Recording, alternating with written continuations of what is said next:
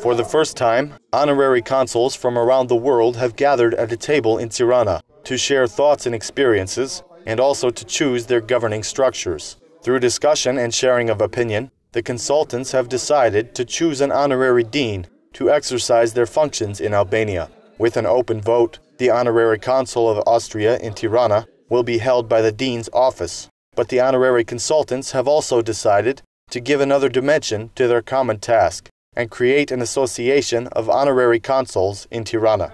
The association will serve as an instrument for mediation, exchanging experiences, and initiatives in the economic and diplomatic fields. With an open vote, the honorary consul of Austria in Tirana elected Mr. Jerzy Legezia as the dean of this council. Falenderoj sinqerisht sepse për mua është një ner mjaft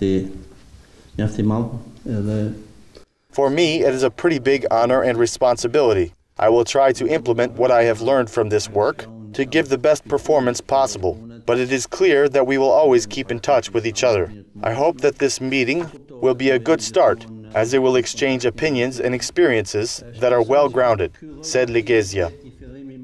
Unanimously, the 17 councils present at the table elected the honorary consul of Mexico in Tirana, Mr. Ylli Ndroqi, as the chairman of the new association. The head of the association shall have a term of one year, with the right of re-election only for one additional term, and will protect the rights of the councils and represent them among the international organizations. The honorary consul of Mexico, Ylli Ndroqi, was committed to supporting his colleagues and promised to try to ensure maximum respect for the rights and privileges of other honorary consuls. Me që votuat këtu, por ju siguroj që nuk do t'ju shgënjej, duke qëndruar gjithmonë pranë kërkesave.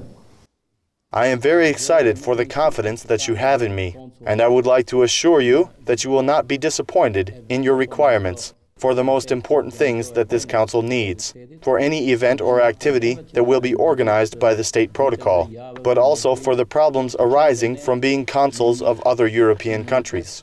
I assure you that from this moment, I will give you worthy representation for any kind of request that you have among the consuls in the foreign ministry. And this is not going to be done only by press coverage, but also by protecting our interests and listening to your suggestions and bringing them to the ministry in order to fulfill 100% of the aims that we may encounter during our path, said Mr. Ndroqi.